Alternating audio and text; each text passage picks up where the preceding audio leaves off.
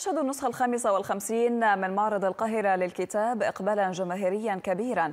فرغم ارتفاع أسعار الورق بنسبة 45% تخطى عدد الزوار الاثني مليون زائر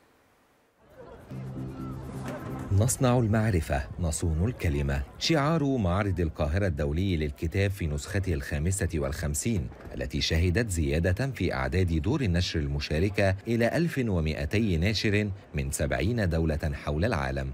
معرض يراد له وفق القائمين عليه أن يكون بوابة عالمية لقطاع النشر والتوزيع وأن يعزز حضور الكتاب أكثر وأكثر أمام التقنيات والوسائط الجديدة. بنسال دايما على الكتاب الإلكتروني أو الكتاب الرقمي.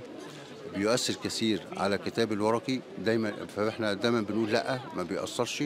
الدليل على ذلك هو النسخة 55 لمعرض القاهرة والكتاب الورقي ما زال رقم واحد.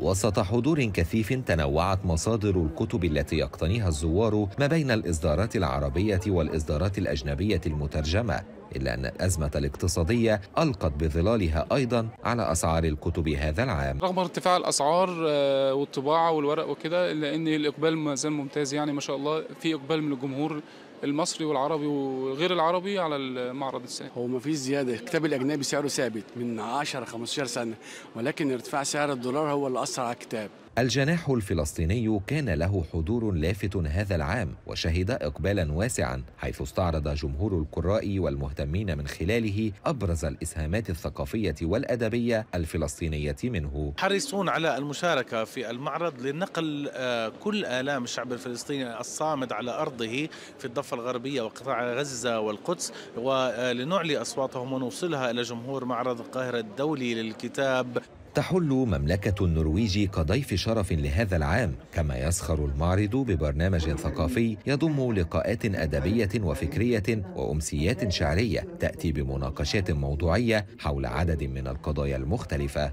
قضايا ملحة وإشكاليات فكرية وإنسانية متجددة في العالم العربي.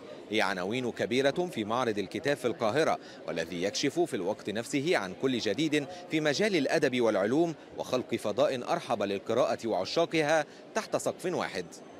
محمد خالد المشهد القاهرة.